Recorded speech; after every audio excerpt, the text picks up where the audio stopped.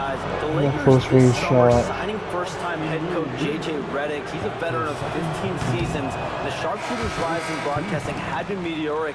The Lakers really want Redick to be their long-term head coach, but the question, with an aging superstar in LeBron, how much patience will exist in L.A.?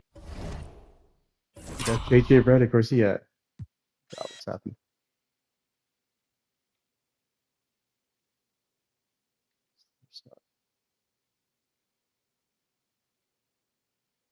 Where's the Lakers bench at? I got.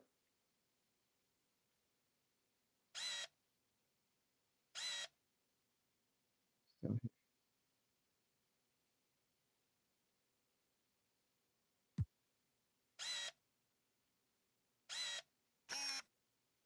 I see him. Head coach JJ Redick. Why is that out of focus?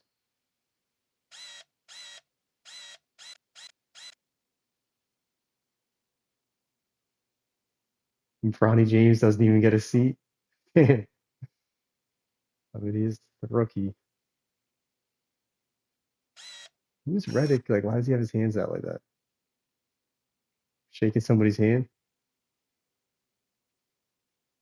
He's frustrated.